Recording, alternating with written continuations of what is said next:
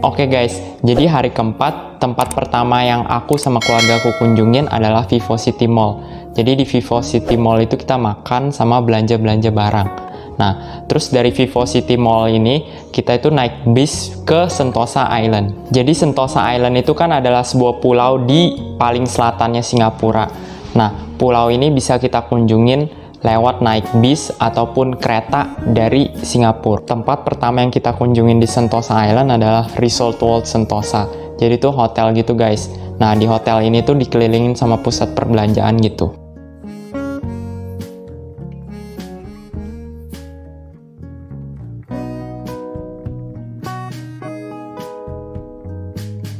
Yang kedua, kita juga ngunjungin Sentosa Merlion. Jadi itu Merlion kayak patung singa yang di Singapurnya, tapi yang Sentosa Merlion ini Merlionnya jauh lebih gede guys.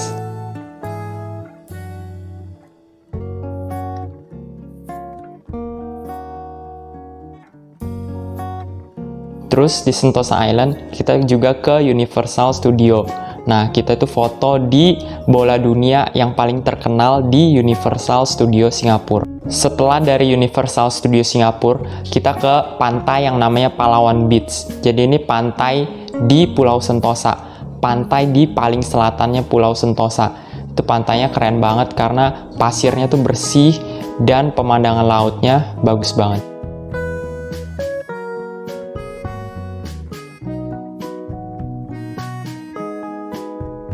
Oke, jadi setelah dari Sentosa Island, malamnya kita balik lagi ke Vivo City Mall buat kembali makan dan belanja-belanja souvenir. Menurut aku, Sentosa Island itu adalah destinasi yang bagus banget, destinasi wajib buat dikunjungin kalau ke Singapura.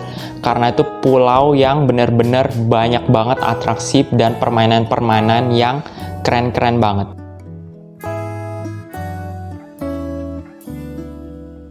Oke, jadi di hari kelima aku sama keluargaku ke tempat yang namanya River Safari. Jadi River Safari ini adalah kebun binatang yang isinya adalah hewan-hewan dari seluruh sungai-sungai terkenal yang ada di dunia. Jadi ini kebun binatangnya unik banget guys. Banyak banget hewan-hewan unik yang hanya bisa ditemukan di daerah tertentu ada di River Safari ini.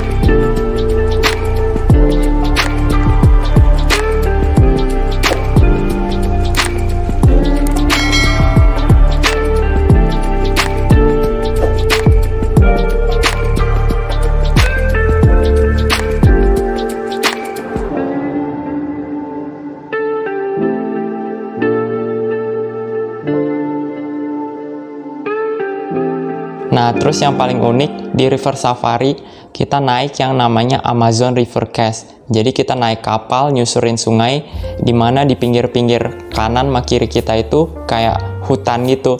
Jadi kita serasa naik kapal di sungai dikelilingin sama hutan-hutan.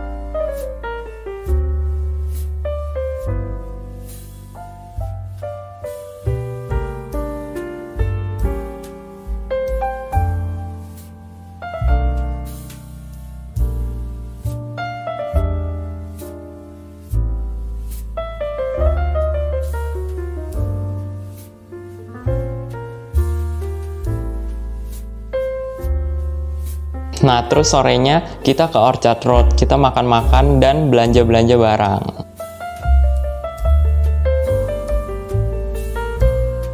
Di hari ke-6, kita balik lagi ke Orchard Road buat belanja souvenir, terus makan-makan, dan belanja barang-barang.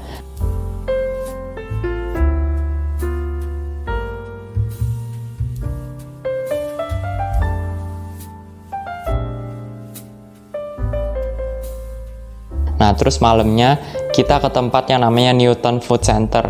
Jadi itu food court di mana menjual banyak sekali makanan. Nah, hidangan yang paling terkenal itu adalah seafood karena di situ banyak banget jual seafood gitu.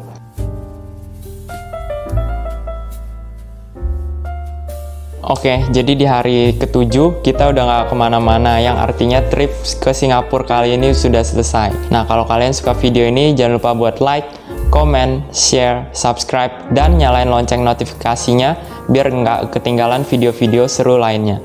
Jangan lupa juga follow IG ku di @brainshift1901. Bye!